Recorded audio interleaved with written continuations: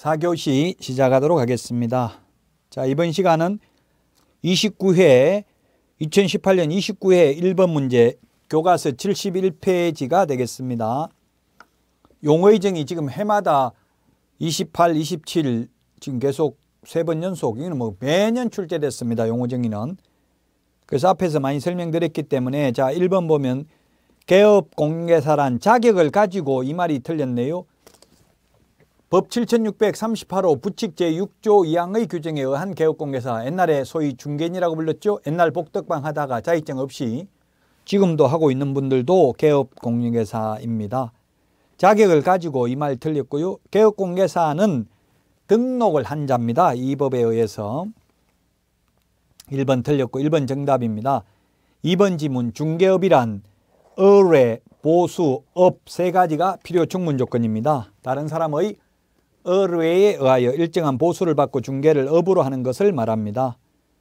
3번 소속공개사라 하면 개업공개사에 소속된 공인중개사, 개업공개사인 법인의 사원 또는 임으로서 공인중개사인 자를 포함한다로서 중개 업무를 수행하거나 보조하는 자 맞습니다. 즉 법인의 임원이라도 자격증 있으면 소속공개사, 자격증 없으면 보조원입니다. 4번 공인중개사라 하면 공인중개사 자격을 취득한 자를 말한다. 그렇죠. 자격을 이 법에 의해서 자격을 취득해야 됩니다. 외국에서 자격 취득해도 공인중개사는 아닙니다. 5번 중개라 하면 중개사물에 대하여 거래 당사자 간의 매매, 교환, 임대차, 그 밖의 권리의 득실 병행에 관한 행위를 알선하는 것을 말합니다. 알선하는 것. 중개 대상물을 알선해야 되죠. 물론 그 밖의 권리를 예, 매매, 교환, 임대차뿐만 아니라 그 밖의 권리를 알선해도 중개고요. 따라서 1번이 정답. 2번 중개 대상물도 해마다 출제됩니다. 중개 상물에 해당하는 것은 했는데 기억, 특정 동호수가 특정된 아파트 분양권 미래의 건축물로 중개 상물이고요. 그 다음에 명인 방법을 갖춘 수목의 집단 중개 상물이라는 게 행정심판 결정 내용이고요. 디귿 소위 이동식 세차장 구조물은 중개대상물이 아니다. 건축법상 건축물이지만 민법상 건축물이 아니라서 중개상물이 아니다. 콘크리트 지반 위에 볼트 조립 방식으로 기둥을 세우고 지붕을 덮은 다음 삼면에 천막이나 유리를 설치했다 하더라도 볼트 조립 방식으로 되어 있어서 쉽게 분리 철거가 가능하므로 이를 민법상 건축물로 볼 수 없다. 그러므로 중개상물이 아니다. 판례고요. 리을 토지거래 허가구역 안에 있는 토지도 중개상물입니다. 모든 용도, 지역, 지구, 구역 전부 중개상물에 해당됩니다. 개인 땅이라면 4번이 답이고요. 3번 지문 보겠습니다. 틀린 것은 했는데 1번 지문 법인은 주된 사무소를 두려는 지역을 관할하는 등록관청에 등록을 해야 되고요. 그 다음에 3번 대표자가 공인중개사가 아닌 법인은 중개사무소 개설 등록을 할 수 없습니다. 그 다음에 3번 법인의 임원 중 공인중개사가 아닌 자도 책임자가 될 수 있다 했는데 책임자는 공인중개사이어야 합니다.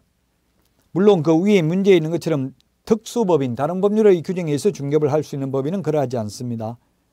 3번이 정답이고요. 4번 소속공개사는 등록 신청할 수 없다. 하려면 그만두고 해야 된다. 그만두면 이미 소속공개사가 아니다.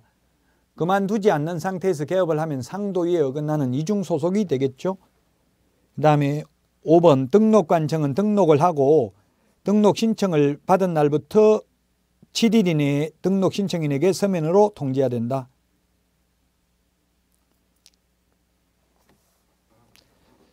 예, 7일 이내에 서면 통지입니다. 7일 이내에 서면 통지. 그래서 3번이 정답이고요. 4번 결격 사유도 해마다 출제되는 지문 문제입니다. 결격 사유 해당하는 자 기억 피성년 후견인 피한정 후견인은 결격 사유지만 피특정 후견인은 결격 사유 아닙니다.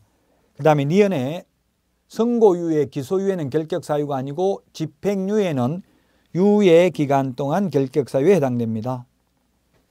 디귿 집행유예는 유예 기간 동안 결격 사유에 해당됩니다. 리을 자격 취소는 3년 동안 결격 사유에 해당됩니다. 따라서 5번이 정답이네요. 결격 사유 해마다 시험에 출제된다.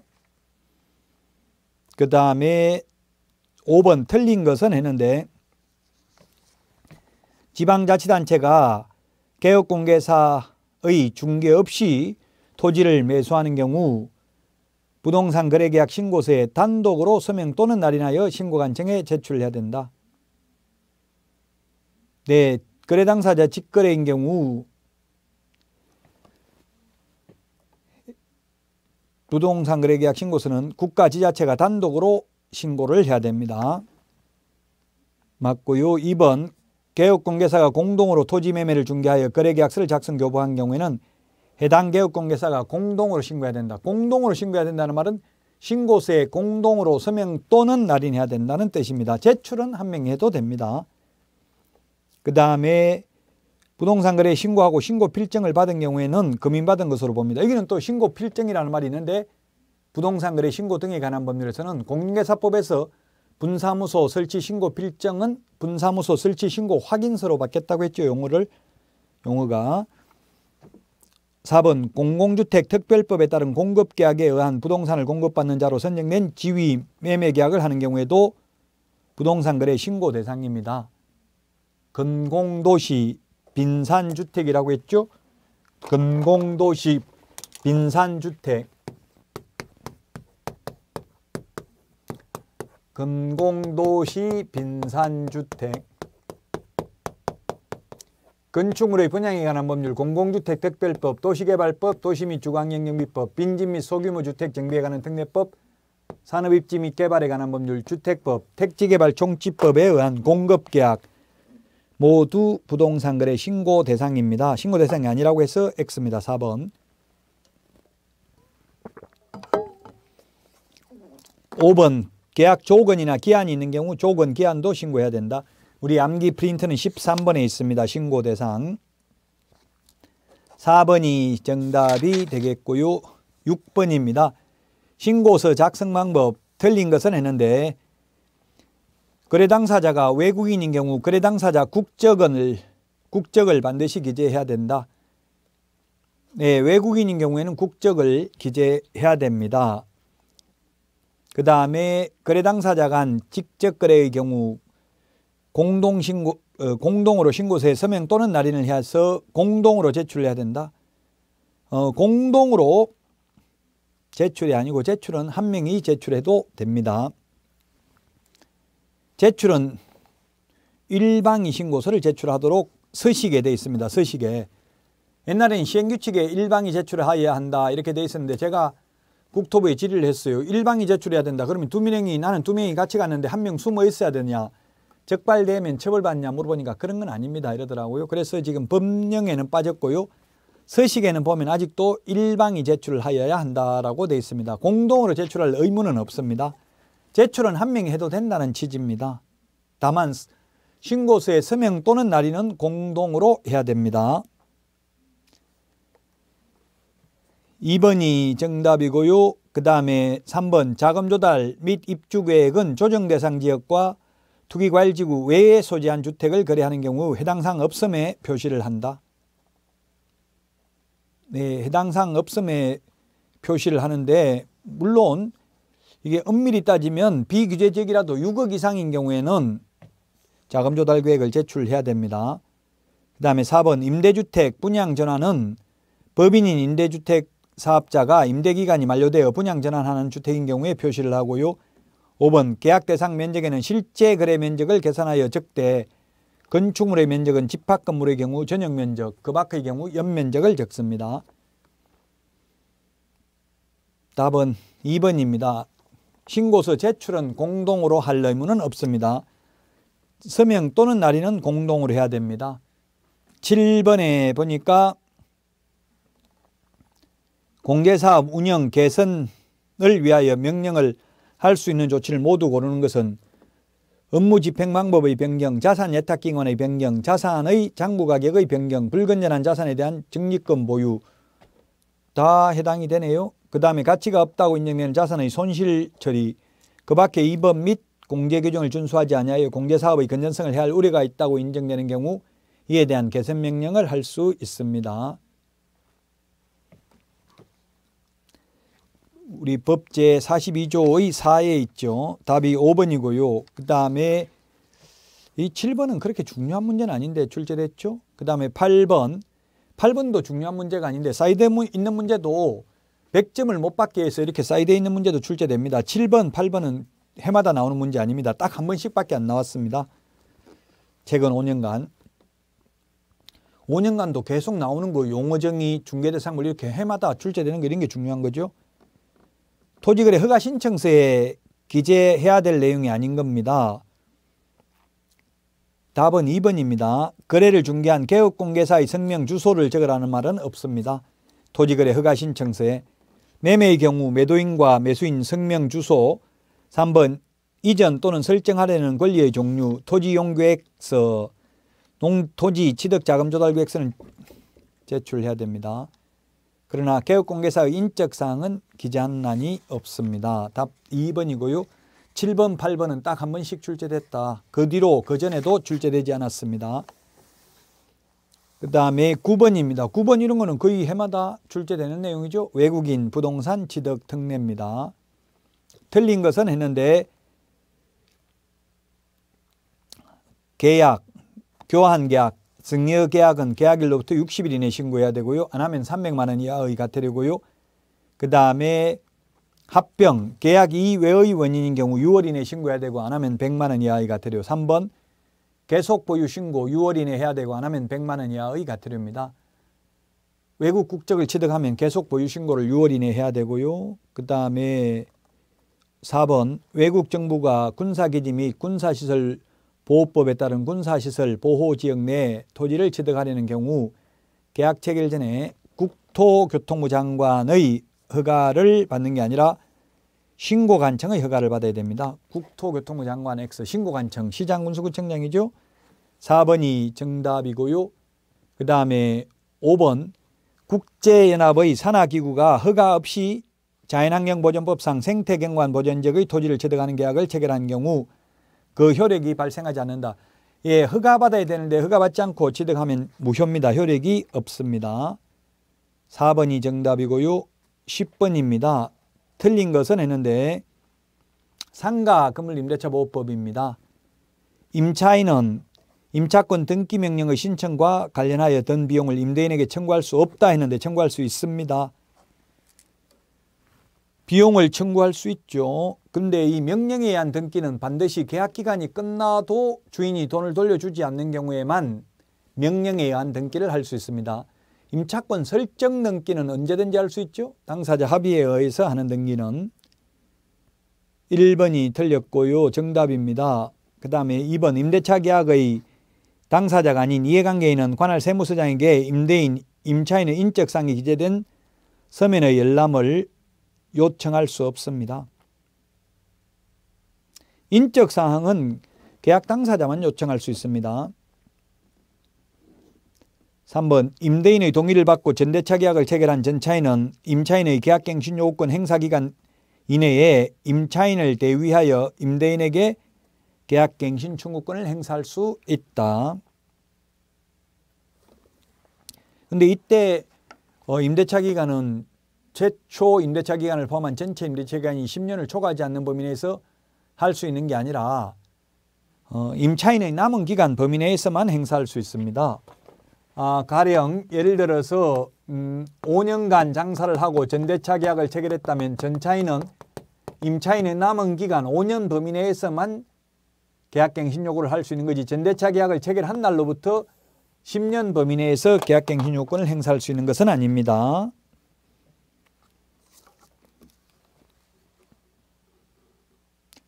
그 다음에 4번입니다. 임대차는 그 등기가 없는 경우에도 임차인이 건물의 인도와 법령에 따른 사업자 등록을 신청하면 그 다음 날부터 대항력이 생깁니다. 사업자 등록 신청입니다. 주택의 경우에는 전입신고죠. 주민등록이죠. 상가는 시구, 아, 상가가 아니라 농지의 경우 시구 읍면장 확인을 받아야 됩니다. 5번 차임이 경제사정의 침체로 상당하지 않게 된 경우 당사자는 장래의 차임 감액 청구할 수 있다. 예, 감액 청구는 상한선이 없고 정액 청구는 상한선이 있습니다. 5%를 초과할 수 없습니다. 따라서 1번이 정답이 되겠습니다. 11번 이 법인의 겸업 시험에 거의 해마다 출제되고 있네요.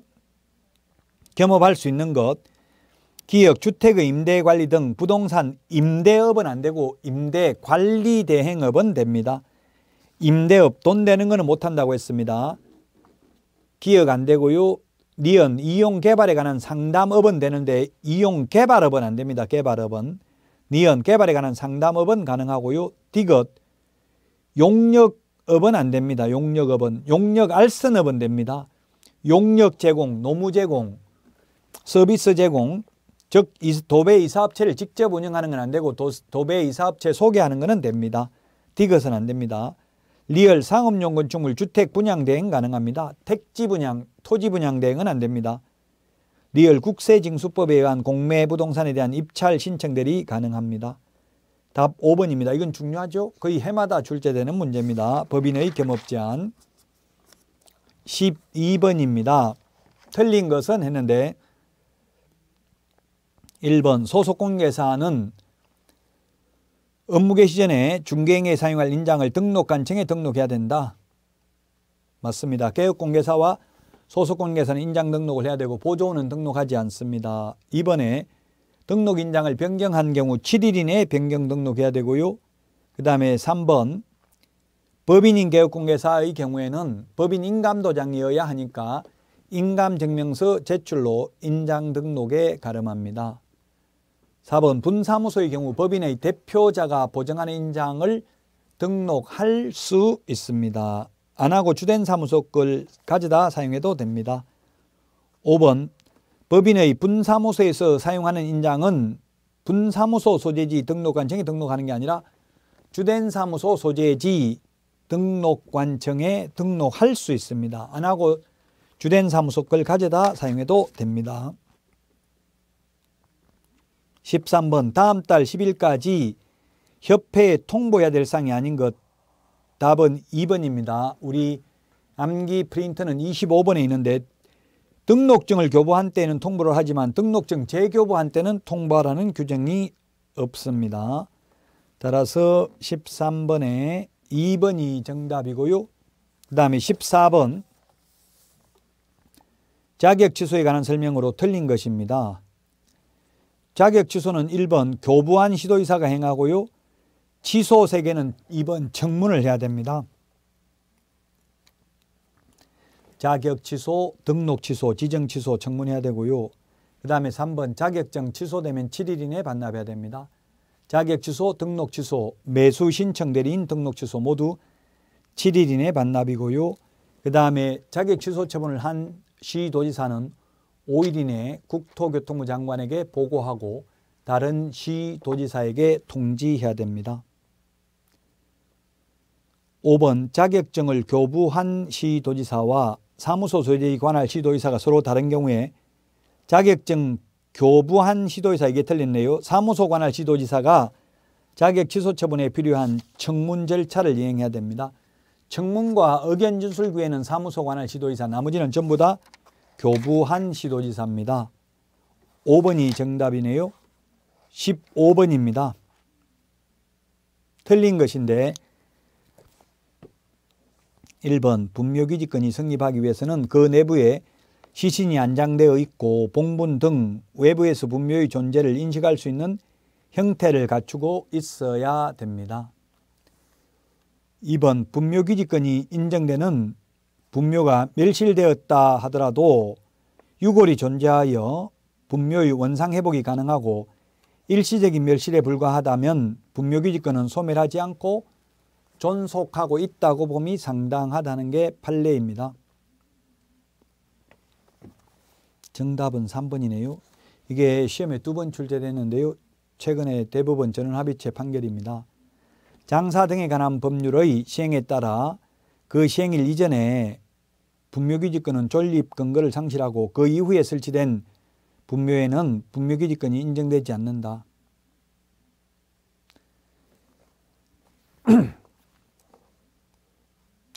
에, 시행일 이전에 분묘기지권은 존립 근거를 상실하고 그 이후에 에, 설치된 분묘에 대해서는 분묘기지권이 인정되지 않는다 했는데 어, 이게 뭐냐 하면은 어, 만약에 1995년도에 설치됐다면 1995년도에 설치됐다면 이게 장사 등에 관한 법률이 언제부터 시행되느냐면 2001년 1월 13일부터 시행됐습니다. 이 장사 등에 관한 법률 시행될 시점에는 20년이 지나지 않았지만 지금 현재 20년이 지났다면 이거는 분묘기지권 주장할 수 있다는 이야기입니다. 물론 2001년 1월 13일 이후에 설치된 분묘는 분묘기지권이 인정되지 않습니다.